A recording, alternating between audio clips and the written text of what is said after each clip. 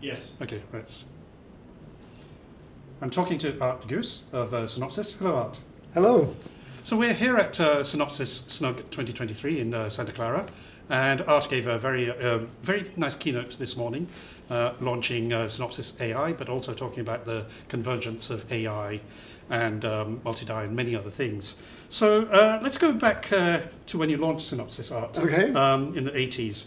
AI was considered you know, fairly futuristic. Uh, did you ever imagine you'd be launching an AI-driven EDA suite under your leadership 36 years later? Well, you know, at that time, uh, the term AI was not uh, you know, commonplace at all. Interestingly enough, the, the first synthesizer we had at that time had an expert system in it, which was considered AI, except the problem was you added more rules, it got better, you added more rules, got better, you added one more rule, and it wouldn't work anymore. And, and since then, of course, the evolution has been much later as the first AI showed up, uh, really was uh, beating the chess game, but ultimately the Go game uh, was for me the breakthrough because suddenly I could see that you could have deductive reasoning and uh, uh, pattern matching coming together. And that is of immense value to us. And so that is really uh, where we started to invest fully because we saw an impact on what we were doing. And uh, today, are there any areas of the design and development stack you think are still unexplored and where AI could still be applied? I'm sure there must be plenty, but uh, uh, I mean, we've had you quoted in the NVIDIA you know, press release on computational lithography. You, you talked, I think, uh, earlier about uh, refactoring designs uh, to older or newer process technologies. Tell me, where, where, where do you think it still has to go? Well, for, for starters, I think we've just touched the surface. I think we've gotten some fantastic results in a number of areas, be it uh, actually uh, the design part, now verification, the test, you mentioned lithography. But even there, I think we have so much, so much more that, that we can do. And so, uh, from my perspective, this, this automation of entire design flow pieces is just at its beginning. And you know, I, I see full employment for the next two decades to, to broaden this. But if you want to have a, a, an example of something that uh, I think there's, there's potential, yeah, we've done a number of uh, uh, analog optimizations mm. and moving from one technology node to another, for example, retargeting chips. In the digital area is a great, great opportunity. If you change, you have a chip that's doing well with the customer, but you want to have some changes, you make the changes for another customer, and the whole thing will recreate itself automatically at this point in time. So retargeting to new technologies or change designs, absolutely possible and in the works. Uh, another big area in the industry, it's in the semiconductor industry, not just EDA, is a talent shortage. And, um, you know, chips are yeah, inevitably getting more complex. Um, how will we, the industry, be able to get uh, the skills to develop not uh, just the, the chips, but the EDA tools uh, for that? I mean, you talked earlier about architects having it all up in their brain. Uh, and, you know, where are we going to get those brains of tomorrow? Well, you know, th this has been a quest forever, right? Because uh, since the beginnings of, of semiconductors, we've been on this exponential quest. And by definition, how can you ever keep up with an exponential? But we did. We did. And, and, and, those advances are possible because uh, people learned and learned and applied new techniques and so on. And so we've been able technically to keep up very well with the, the moving horizon. And I expect for the next 20 years with the combination of AI and, and multi-die, we will be able to succeed. That doesn't mean that there's not a opportunity for many new employments of people that are coming out of school.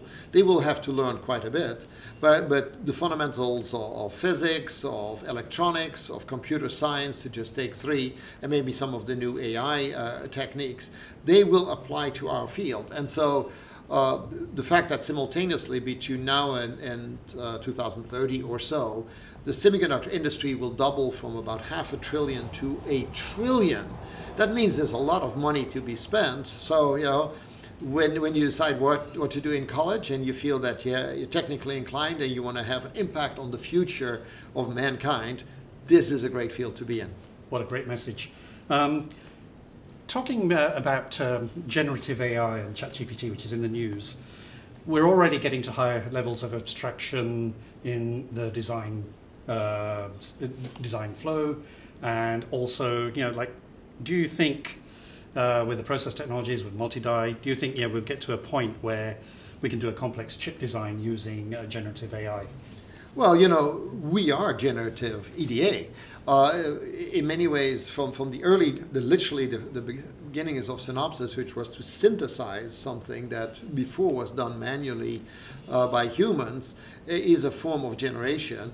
And the question is always, anybody can generate anything, does it work? That's the question. And of course, you have functional, functional correctness, you need to have speed, you need to have area, you need to have power, you have many, many, many, many constraints. And when I say many, many, in the early days it was three or four. Now it's trillions of constraints to make a, a, a circuit work. And so the, the automation of that is possible if one simultaneously has the analysis tools and the capabilities to assess how good is something. That is actually very, very difficult. That requires very deep technology. And the reason it, it takes a company like Synopsys to do this is we have all of these tools that can assess the design, and then we put essentially a brain that drives the search into uh, the space while using the best tools to assess where you really are. And that is not just generative uh, uh, AI. It, it requires way, way, way more than that. I think that goes into the SysMoore concept that you were talking about.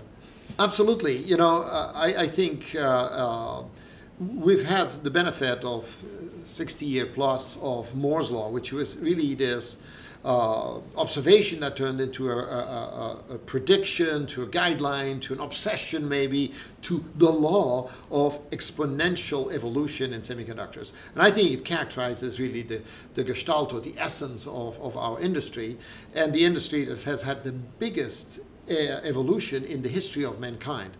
Well, while the traditional Moore's law has slowed down, we're still building smaller and smaller transistors, not just as rapidly a new door has opened, and the door is don't think of one chip, think of multiple chips in super high proximity, either right next to each other on another chip, or uh, over time more and more stacked on top of each other with very, very fine connectivity.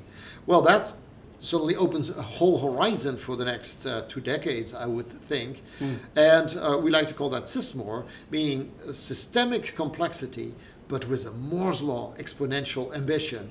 And, and it is sort of uh, you know, a, a, touching moment with Gordon Moore having little, literally passed away uh, last week. Mm. But uh, I love the fact that we maintained the, the Moore name as the person that really was our exponential coach. You know, the, it became a law, but, but there was no question, hey, we're engineers, we're going to abide by that law, and we will continue to do that. Excellent, that's good. Um, let's go to a final question. So um, I would like to understand, you know, what do you think in your career has been the most significant in the EDA industry, or maybe just generally? Uh, I know you've got music as your other passion, which is yes. my passion as well, by the way. Um, what would you envision uh, as? Well, sorry, what was the most impact, and then what's what's also coming? What's the next next big breakthrough opportunity? Well, you know, the, the, the impact obviously is that we were part of the design in contrast to the, the manufacturing technology. And uh, first, great, great credit, of course, to the people that have developed the technologies to make things smaller and smaller. And as they became smaller, there were more and more of them. And so we're part of the more and more of them. They are part of the, the smaller and smaller. And at some point in time, the designing very sophisticated things demanded uh, a degree of, of, initially verification and ability to just assemble, but then demanded automation. And actually, the, there happens to be a watershed uh, that, that coincides pretty much with the exact timing of Synopsys coming about. Before it was called computer-aided design, CAD. Yes. After that, it was called electronic design automation. Automation. Uh, and, and we're still questing for that. Uh, and I think that Synopsys' contribution was that uh, it helped change digital design. And because of the simplifications of digital versus analog mixed signal, it was able to stay on this exponential that, that always looked impossible and always did get executed. Now, if you look forward, this is why I love the fact that, that we're moving from the classic Moore to now the SysMoore, because the SysMoore says we're opening new doors that before were technologically not viable. Technically not, it was too difficult to, to make multiple chips come super close together on top of each other, next to each other. Economically, because it was too difficult to manufacture. Both of those have changed. And you can see it now because we have well over 100 people doing multi-die uh, designs. And so with that opens a whole new horizon that needs just as much automation and analysis as before. And uh, our job will be to stay on the Moore's expectation of ex- exponential uh, advances. And I think these are badly needed for the world because we have a lot of problems that will need to be solved. Anything that touches energy needs to be solved. And you, we will take some compute energy ourselves to get there, but uh, it's a great opportunity. You talked about compute per watt, and I think that's quite an important part of it. Yeah, you know, there, uh, actually, I picked up uh, an interesting comment by um, uh, François Piednoël, who from Mercedes, who said that for every 100 watts of computation, it reduces for electric car the range by 10 to 15 miles. That is a great economic statement, Mm. right? Be- Because suddenly you become very sensitive. Well, I like 200 watts because then my autonomous driving is going to be better and safer, but 10 to 15 miles less, right? Yeah. Uh, what do you do now? Those are the trade offs. Optimization is all about that. Well, Aart, thank you very much. Thank you for the interest. Okay. Yes, That'll- switched off.